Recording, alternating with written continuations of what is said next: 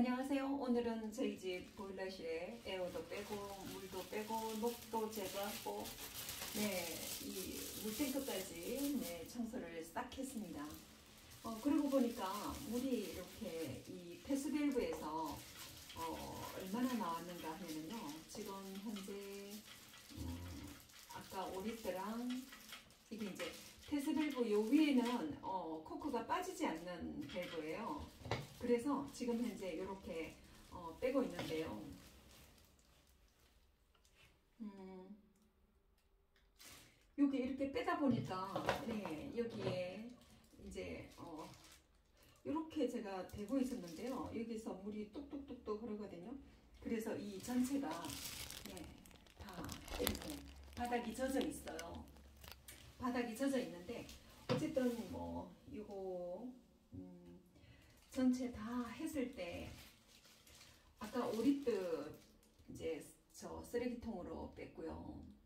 그리고 여기 한 통, 두 통, 2리터, 네, 2리터 생수병에 네, 지금 현재 요만큼 음, 또 받았거든요.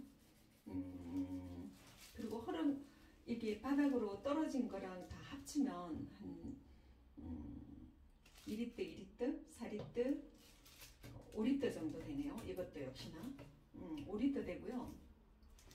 아까 저 쓰레기통으로 5리터 받은 거랑 해서 총 10리터가 10리터의 물이 이 밸브에서 나왔어요. 지금 이제 이렇게 줄줄줄줄 이렇게 타고 조금씩 여기서 조금씩 내리거든요. 네, 그 정도 수준이에요. 그 정도 수준이기 때문에 지금 그렇다고 여기를 댈 수도 없고 여기다 여기다가 될까요? 어, 조금씩 흐르긴 하는데 와 역시 물은 위에서 아래로 네 낮은 데로 흐르는군요. 어, 겸손을 배워야겠습니다. 물한테서 네 음, 낮은 데로 임하소서. 그러네요. 얘가 낮은 데로 아 겸손을 배워야겠습니다. 그래서 물은 절대로 거꾸로 흐르지는 않죠. 네, 이 데스밸브에서 이게 나온 부분이 이제 거의 어, 5리터라고 보시면 될 것 같아요. 오늘 제가 뺀게 2리터짜리 두 개 그리고 2.5리터거든요. 음, 2리터, 1리터.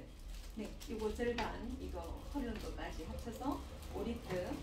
그리고 저 쓰레기통으로 해서 이제 10리터를 총 10리터를 뺀 거죠. 그렇다면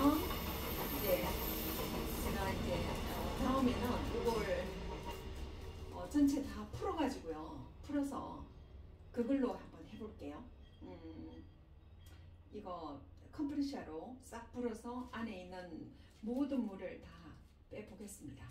그래서 지금 현재 이 동파가 확실히 되는지 안 되는지 네 저도 확인을 해보고요. 그래서 컴프레셔까지 네, 써서 물을 빼보도록 하겠습니다. 다음에 네, 다음 다음을 기대해 주세요. 감사합니다. 구독 좋아요 눌러주세요.